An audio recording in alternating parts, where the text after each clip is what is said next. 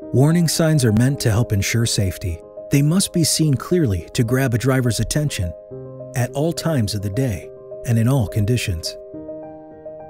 This demonstration of 3M fluorescent technology demonstrates how this is possible using ultraviolet light.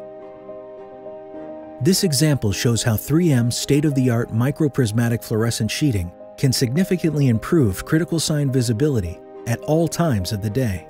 It's especially effective in low light conditions such as dusk, dawn, and inclement weather.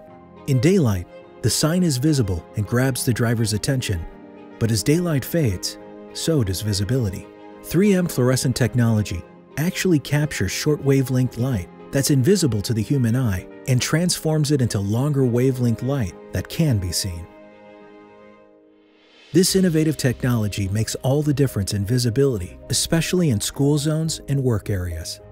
Day, night, and any time in between, you see that 3M diamond grade fluorescent reflective sheeting can significantly improve road signage visibility, contributing to safer driving.